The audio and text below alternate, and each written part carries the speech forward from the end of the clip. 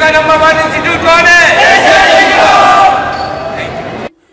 दोस्तों, नमस्कार। आप देख रहे हैं स्मार्ट डेवलपर आपका चैनल दोस्तों, हम जीवन में कभी कभी ऐसी छोटी छोटी चीज़ों से डरते हैं और वो डर कभी कभी इतना भयानक हो जाता है कि वो हमें ऐसी अवस्था पर, ऐसी मोड़ पे लाके खड़ा कर देता है कि हमें जीवन में चारों तरफ़ अंधेरा ही अंधेरा दिखाई देता है।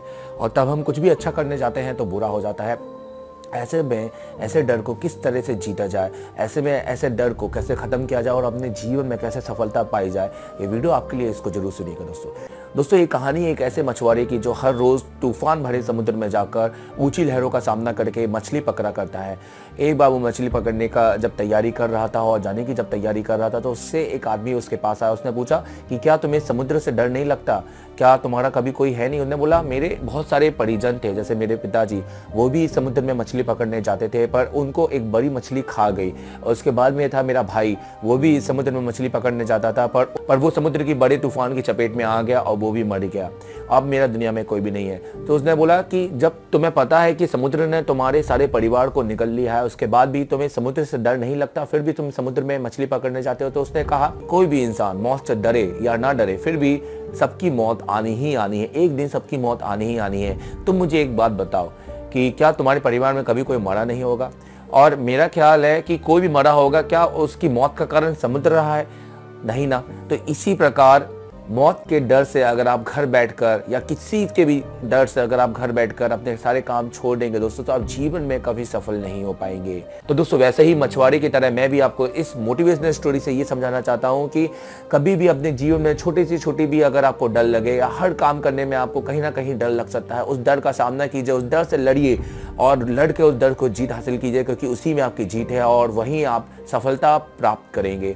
अगर आप दोस्तों छोटी से छोटी डर या बड़ी से बड़ी डर, भले वो काम एक बहुत छोटा काम हो या बहुत बड़ी कंपनी भी आप अगर खोल के बैठे, तब भी भी आपने देखा होगा, हर हर एक काम में आपको कहीं ना कहीं डर का सामना करना पड़ सकता है। पर मेन उस डर को जीतने के लिए आप अपने हौसले को कितना बुलंद करते हैं और डर को जीत कर अपनी सफलता को कितना प्राप्त करते हैं, ये आप पर है। तो मुझे मालूम है कि आप अपने डर को आगे ना आगे कहीं ना कहीं जीत ही लेंगे। इसी तरह स्मार्ट डेवलपर और एसे टेलीकॉम आपके हमेशा साथ रहेगा और आपकी जीत के साथ हमेशा विक्ट्री का साइन बना के खड़ा रहेगा। मिलते रहिए इसी तरह और देखते रहिए इसी तरह चैनल। अगर पसंद आए तो लाइक कर दीजिए थैंक यू वेरी मच दोस्तों, नमस्कार। दोस्तों, मेरा नाम देवरत्न अग्रवाल है। आई होप आप मुझे जानते होंगे नहीं जानते हैं तो आप मेरा नाम गूगल में सर्च कर सकते हैं। आप लिखिए देवरत्न अग्रवाल स्पेलिंग आपको यहाँ पर शो हो रही होगी। आप लिखिए गूगल में देवरत्न अग्रवाल आप लिखिए प्ले स्टोर में, आप प्ले स्टोर में मुझे सर्च कर सकते हैं। आप मुझे गूगल में सर्च कर सकते हैं।